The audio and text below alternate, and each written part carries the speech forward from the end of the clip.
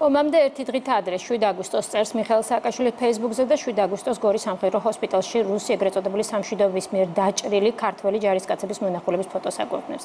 ეს სტატუსი ქართულ ოცნებაში სააკაშვილის მორი გაღიარება და თავისივე ხელმოწერილი ბრძანებულების დადასტურებად მიიჩნიეს. ამ სტატუსის რუსული ნარატივის სულისკვეთება კი ოპოზიციას დღეს არ გახსენებია.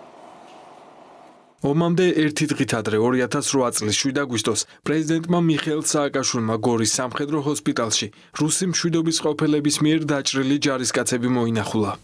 ექს-პრეზიდენტის ეს ერთი შეხედვით სენტიმენტალური Facebook სტატუსი დღეს პოლიტიკური განხილვის საგანი გახდა. პოლიტიკური ექსპერტი ლევან ნიკოლეიშვილი ფიქრობს, რომ აგვისტოს ომთან დაკავშირებით იმჟამინდელ ხელისუფლებას და მათ ლიდერს მიხეილ სააკაშვილს ყოველთვის აქვთ დანაშაულის გრძნობა.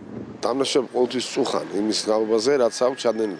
იგივე ნაციონალური მოძრაობის წარმომადგენლებს თუ გავიხსენებთ ხომ თავის დროზე ვიცით რომ ევროპარლამენტში როგორ მიცეს რეზოლუციას ხმა რომ საქართველოს დაიწყო ომი ასევე როგორ ჩააწან სანაცეში როგორ დაეთანხმნენ იმას რომ თითქოს კასეტური ბომბებით ჩვენ დაბომბეთ ცხინვალი. ამიტომ კიდევ ერთხელ შეიძლება ითქვას რომ ეს არის მავნებელთა ერთგვარი კასტა რომელიც მაქსიმალურად თავისი უგუნურობით იქნება თუ სპეციალურად თუ რუსეთის ცისკუზე ასხავენ წყალს ყოველთვის ილობენ რომ საქართველოსი აურდაურიონ სიტუაცია ომამდე ერთი დღით ადრე 7 აგვისტოს ეს ყოფილი ხელისუფლების მტკიცებით რუსული ნარატივია თუმცა არა მაშინ როდესაც ამას მიხეილ სააკაშვილი ამბობს. რუსულ ნარატივად იქცა განსაკუთრებით 2012 წლიდან მას შემდეგ რაც სააკაშვილის გუნდმა ტრადიცია შეცვალა და მუხად გვერდის ძმათა სასაფლაოზე გმირებისთვის პატევის მიგება 8 აგვისტოს ნაცვლად 7 აგვისტოს გადაწყვიტა ძალიან საგანგაშოა რომ წლებია ჩვენ გვყავს მთავრობა რომელიც ამ საკითხში აშკარა პრინციპულად იმ პროპაგანდას არის აყოლილი რაც ჩვენს მტერს ჰქონდა რომ საქართველოს გამოიწვია და დაიწყო ომი. ამასთან არის დაკავშირებული თარიღები. ყველამ ვიცით რომ ქართულმა სახელმწიფომ სწორედ 7-ში დილით ადრე მიიღო პირველად მონაცემები იმის თაობაზე რომ რეგულარული რუსული არმია შემოდის საქართველოს ტერიტორიაზე და უკვე დღის განმავლობაში იყო მსხვერპლი. ქართველი სამშვიდობოები დაიღუპნენ ამიტომ დიახ ეს სამარცხინო ამბავია თუ ვინმე პრინციპულად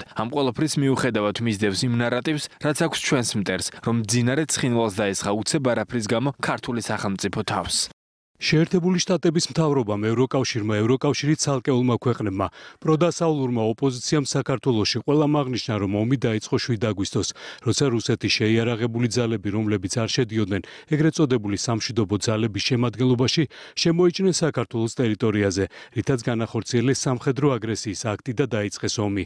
8 აგვისტოს ომის დაწყებას აღნიშნავს მხოლოდ ორი მთავრობა მსოფლიოში რუსეთისა და საქართველოს ამჟამინდელი მთავრობა ის რაც ოპოზიციისთვის დღეს ხელისუფლების პრორუსულობის მტკიცებულებაა 2008 წელს ხელმოწერილი და დადასტურებულია თავად მიხეილ სააკაშვილის მიერ.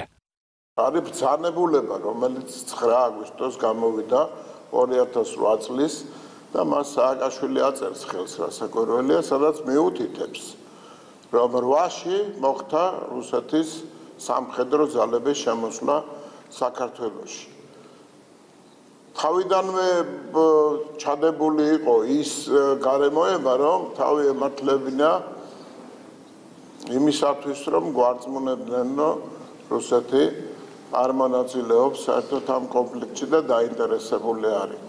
22 საათი გავიდა მიხელ სააკაშვილის აღიარება სტატუსიდან, თუმცა რუსული კვალი ამ სტატუსში ამ დრომდე არც მის თანამებრძოლებს და არც მის მხარდამჭერებს არ ამოუკითხავთ.